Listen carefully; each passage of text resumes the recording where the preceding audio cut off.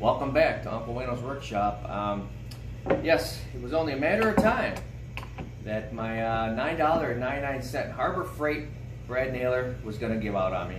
Um, I kept her well oiled to make sure the seals wouldn't rot on me, but eh, it's been about five years maybe.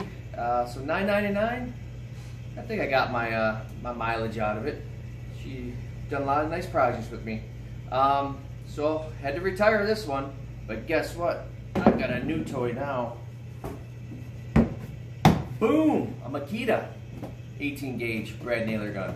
Uh, just came in yesterday, and uh, let's see what's in this little handy uh, carrying case, shall we?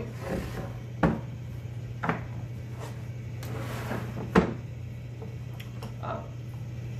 Gun, of course, very nice, and uh, yeah, that's the size of that's the size of gun I like. That's cool. Set that aside. Uh, nice bottle of oil. You always gotta make sure you keep your machines oiled.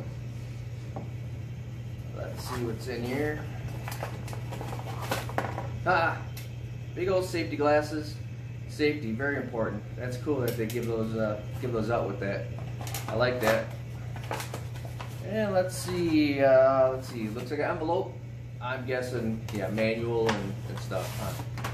Yep, the manual and uh, warranty paper. I'll fill all that out eventually here send that in. Cool beans. Uh, I say we fire this bad boy up, huh? See how it works. I just so happen to have some brad nails on me. Let me put this away. Let's see how we load this.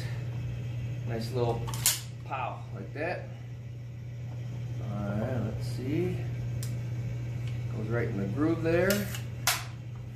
Awesome sauce. And uh, before we do our first firing, let's do a couple drops of oil in there, shall we?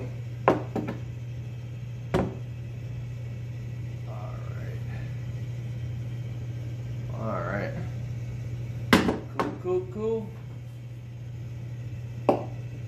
And I have my own safety glasses here. A little dusty because I've been doing some sawing. Alright. I just so happen to have my hose right here connected to the compressor. I don't know how that happened. It's crazy. Let's plug this bad boy in, shall we? Oh yeah. Listen to that. Alright. And boom, just like that, I happen to have two pieces of wood ready to go and all that works out. All right, let's try this bad dog out.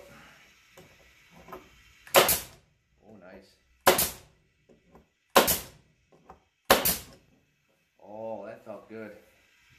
That that is gonna work.